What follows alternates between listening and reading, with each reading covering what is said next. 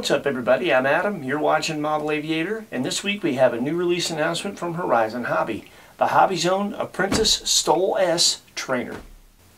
The Apprentice line from Horizon has been the benchmark for traditional trainers for almost two decades now. The little Sport Cub S has made equally as large an impact on ultra micro trainers. Horizon took the best of both those worlds, combined them, then made some great improvements. And that's how this came to be. We'll give you all the details right after we show you how easy it is to get this thing together. Being an ultra micro and coming in at under the legal limit of 250 grams, the Apprentice STOL S is a complete ready-to-fly package in one box. Now there is a little bit of assembly required unlike some ultra micros. However, Horizon promises this only takes minutes. And they're right. The box comes neatly packed with everything a new person needs to become a successful model aviator. You'll squeeze your gear together and slide them in the slot provided on the bottom of the fuse. Then you'll plug the aileron servos from your wing into the plugs coming out of the fuse. You'll carefully feed that wire into the hole in the fuse so that it doesn't get pinched when you put your wing on. Put the tabs in the front in their respective places. Bring the back of the wing down and secure it with two wing bolts. And that's it. Literally took me about seven minutes. And if you don't know what you're doing and you've never done this before, might take you 10 or 11. Not a big deal at all. Now, a quick tip for those folks that may start with this and have never assembled an RC plane before. When it comes to tightening these wing bolts down, this is foam after all, and you can over tighten them even though there's a plastic reinforcement right here. So what you do is Take a look at your apprentice from this angle and you're going to see something like this. Notice how the bottom of the wing is not completely flush with the top of the fuse. You want to tighten it down so that it makes solid contact like this and then stop. That's tight enough. No need to tighten them anymore or you could over tighten them and then crush the foam around this little plastic reinforcement piece. And another quick tip, you want to end up with your wing bolts, the heads of them parallel to the fuselage so that it's more aerodynamic. I don't know if that'd make a difference at this size airplane, but it does look cooler. The Apprentice STOL has a wingspan of 27.6 inches, a length of 19.29 inches. Our example weighs 5.4 ounces ready to fly with the recommended battery.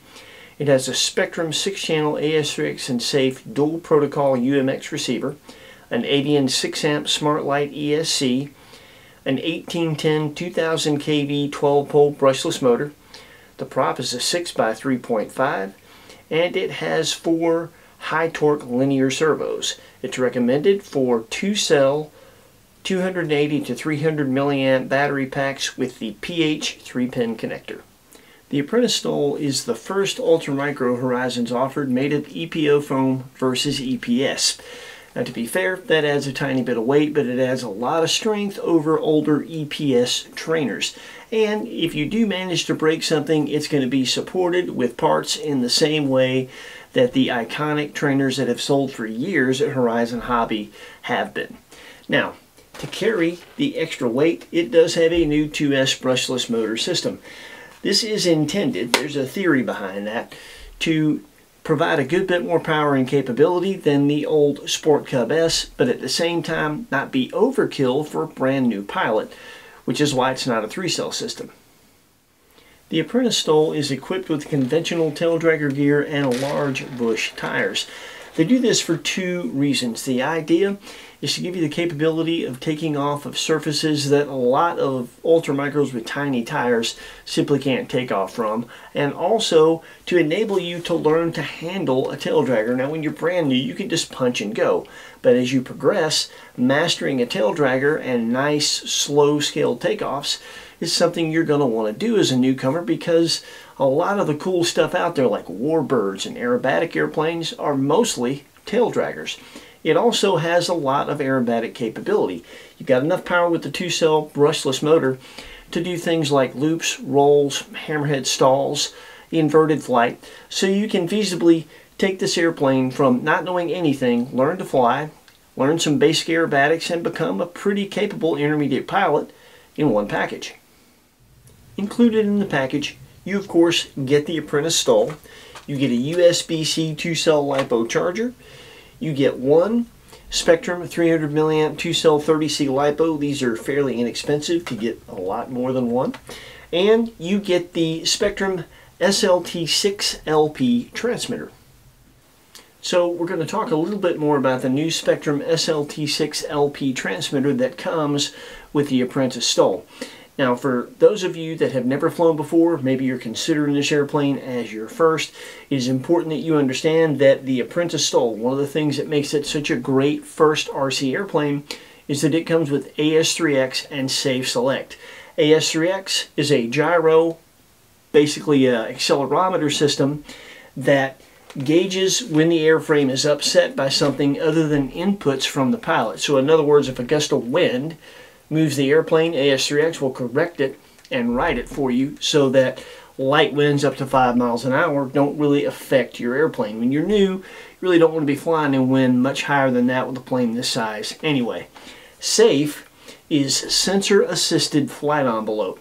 And what that means is this switch right here has a beginner, intermediate, and experienced mode. Now what that is, when you have it in the beginner mode, your pitch and bank angle is limited. So you can put in controls that without safe would make the airplane spin right into the ground and it won't do that. It will simply do a right or left hand turn without losing much altitude. When you let go of the gimbals, the sticks on the transmitter, the airplane will right itself. You flip it into the center position, which is the intermediate mode, now you have a bit more pitch and bank, but you can't completely get the airplane upset. However, when you let go of your gimbals, it doesn't automatically right itself. But you have a panic button. You hit that panic button in the intermediate mode, and whatever position you're in, the airplane will automatically right itself. That's a big help when you're new. And finally, when you flip it in the third and final position, that's experience mode. That's what I'd fly the airplane in. That enables you to do anything you want to do. You can do loops, you can do rolls, you can fly it inverted. You can get the airplane completely upset, essentially. And again, with that panic button, if you get in trouble, you press that, and from any position that the airframe is in, Safe will right it for you. So, some very useful things for a newcomer. Has a couple of other things that are very useful for anybody, but especially a beginner it has a dual rate switch, a low and a high rate. What that does is determines how much throw the control surfaces have. So they'll have less in low rate, more in the high rate. What that translates to is in the low rate, the controls will be less sensitive, but you'll have less capability. In the high rate, the upside is you have more capability, but the controls will be a bit more sensitive. The other thing is this little twitch. That is the throttle cut switch. When you flip that on, you can accidentally hit the throttle gimbal and the motor will not activate. It becomes live when you turn the throttle cut off. A good practice for anyone new or anybody really, period, is have the throttle cut active the entire time you have the battery plugged up and you're handling the airplane until you have it sitting on the runway and you're ready to throttle up and take off. Then you flip it off and go. That way you don't have an accident handling your airplane. Some of you experienced modelers are going to recognize SLT. That is very similar to the TACTIC protocol that some of you are familiar with. However, Spektrum SLT technology is not compatible to TACTIC receivers from back in the day. And also, the dual protocol receiver in the Apprentice STOL is only compatible to two protocols. This specific Spektrum SLT protocol and DSMX Spectrum protocol. So you'll be able to bind any DSMX Spektrum transmitter that you have to the Apprentice STOL, this one, or the bind to fly version, obviously, and you'll be able to take full advantage of any capability that those transmitters have, including smart telemetry capability if your DSMX Spektrum transmitter has that. You will get telemetry feedback from the Apprentice STOL to transmitters like that in the form of ESC and voltage information. Now, when it comes to the SLT Spektrum protocol, in the future, there are plans to have other ultramicros that have the dual protocol. So you can use your Spektrum transmitters that are DSMX, or you'll be able to use this particular transmitter with those airplanes. So there will be a time where somebody that starts with the Apprentice STOL will be able to progress to other ultramicro airplanes that are more advanced with this specific transmitter. And the reason they're sticking to the ultra micros with the SLT LP protocol is because of what the LP stands for, and that is low power. Now that's not a bad thing. It isn't a full range transmitter like a lot of your DSMX transmitters where depending upon the receiver that you're using you could get up to 5,000 feet. This is good out to about a thousand feet, which is more than you're ever going to need for an ultra micro sized airplane. You get this thing a thousand feet away from you, that's probably means that you've lost orientation and it's gone anyway. So plenty of range for airplanes this size. And finally, the last really cool feature of this SLT transmitter is the USB-C port on the back. That means that that transmitter is compatible with all of the current versions of the RealFlight RC flight simulator that are selling today. And that's very cool because RealFlight has a trainer edition that is right up the alley of the people that would buy an airplane like this. This trainer edition has all of the training aircraft from Horizon Hobby. There's a free download for this one that will be available and it has basically training instruction and challenges to help you learn to fly RC, which is kind of a big deal. And the final feature of the ready to fly version of the Apprentice STOL is that it comes with instructions and a free redemption code for a free trial version of that trainer edition. What that free version gets you is 100 minutes of free flight time. That's more than three hours of instruction that you'll get, which will really set you up for success with your Apprentice STOL. That's a pretty cool feature and a nice addition to the overall package. Now, if you decide that you want to download or pay for a more advanced version of RealFlight so that you get all of the flying fields, all of the airplanes as you progress, you can certainly do that. And when you do that, you'll already have a transmitter that you can use with those more advanced versions. That will keep you from having to buy a dongle so that you can use a more advanced DSMX Spektrum transmitter and it will keep you from having to buy the Interlink transmitter which is pretty expensive in and of itself. So this entire package will save a new RC pilot quite a bit of money and help you quite a bit on your quest to become a really good model aviator.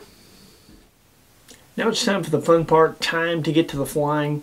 We're not going to have our standard setup page right before the flying like we normally do because this airplane is pretty much set up right out of the box. It's pre-bound to the transmitter it comes with. Throw is going to be the same for everybody. There's no expo to worry about.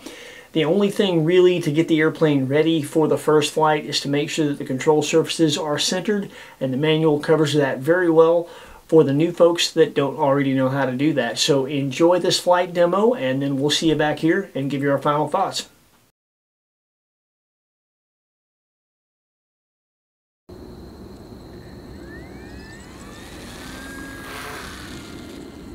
This is beginner mode, so you'll see that the pitch and bank angle are limited, but you still have enough maneuverability even in this limited mode to fly it in a small area doesn't take forever to get the thing turned around, which is nice.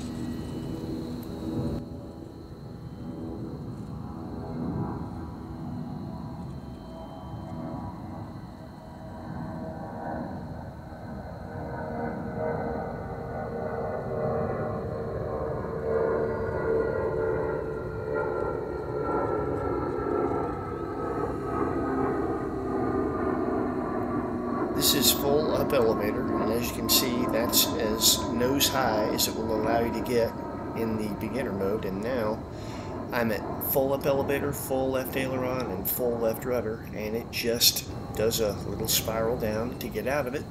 I simply let go of the controls, and it self levels in the beginner mode.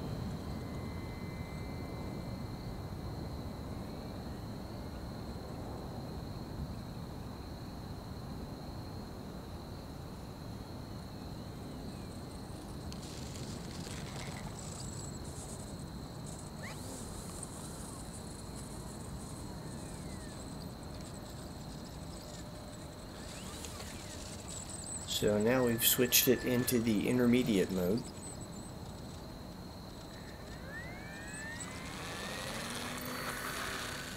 And you'll notice we have a bit more liberty with the pitch and the bank.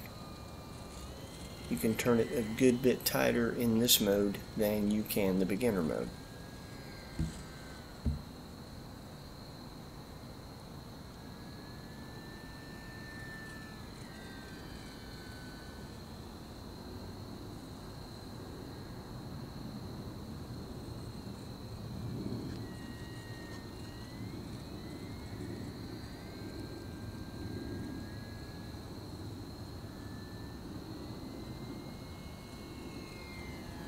As you can see in the intermediate mode, you can get the airframe a good bit more upset, but it won't let you get it all the way on its back.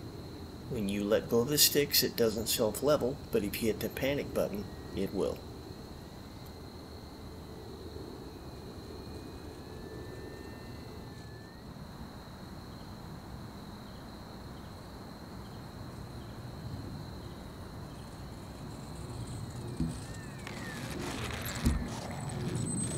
And now we're switching it into the experience mode and we'll show you what this thing will do.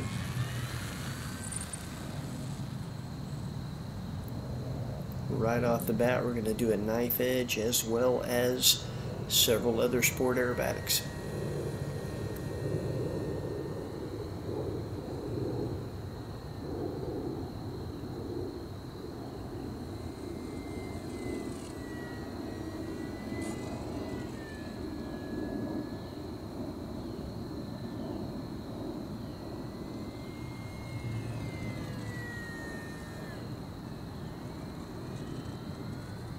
That was a roll followed by a loop, and now we're going to transition to inverted flight.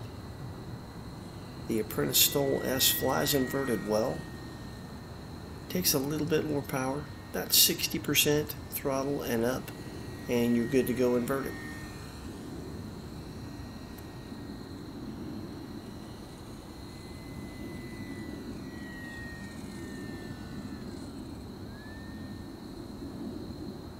And here's a hammerhead for you.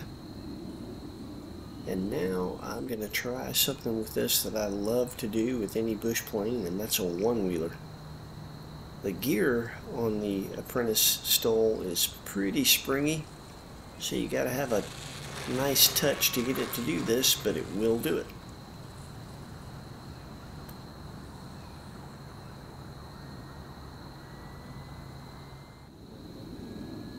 Here we're just showing you the panic button in action. Hit it there and it just finds the quickest path to right side up and level. And here I'm putting in the steep spiral and right to level as soon as you hit the button. Do it again and again, right to level when you hit the button. Works well.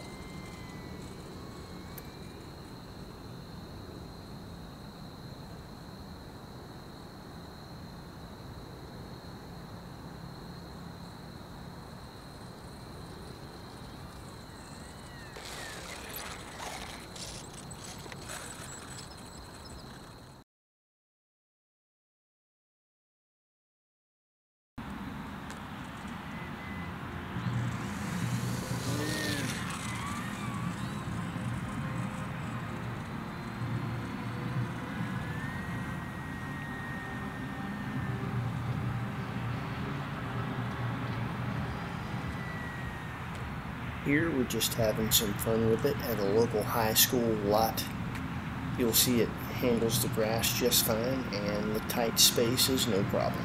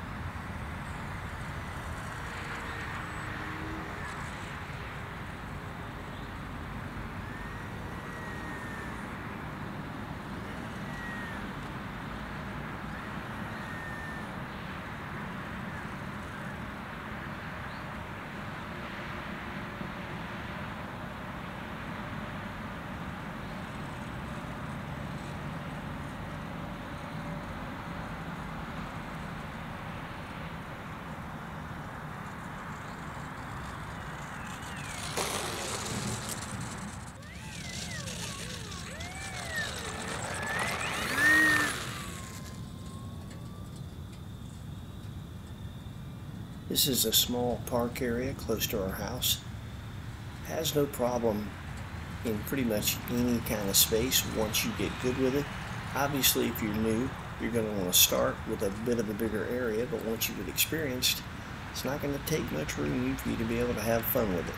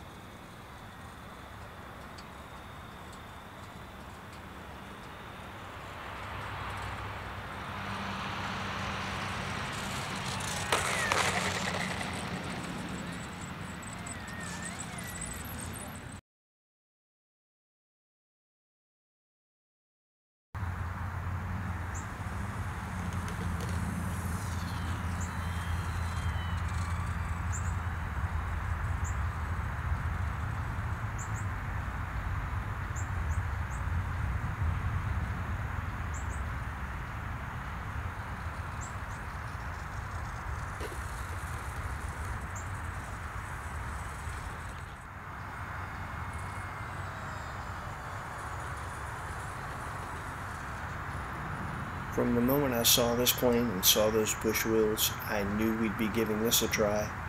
Considering the size and the springy, forgiving gear that's meant for beginners, it handles this gravel road really well.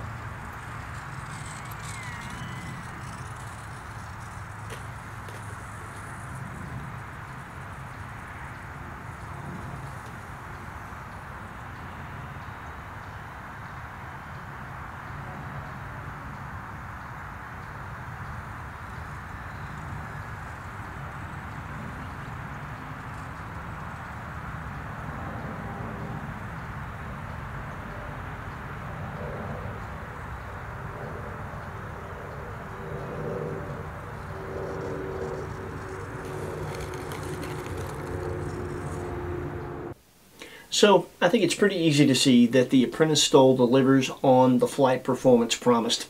All the modes work exactly as they should and really set a new would-be RC pilot up for great success, I think, as well as some of the other features. But I have to say, when it comes to those modes, I applaud the manual. The manual could be another feature in and of itself, really, that is so well written. I read every word, looked at every picture, and I have to say it is written for someone that doesn't know anything about this in such a way that it's very easy to have success. It's very easy to get the airplane together, very easy to make sure it's ready to fly properly, and they go through an extensive amount of instruction in the manual. Obviously, you can get the instruction with the simulator, which is even better, but the manual does cover a lot of things, and one thing I keyed on in the past SAFE has been something that a lot of new pilots misused and they end up staying in SAFE for too long and not progressing their skill set at the rate that they could.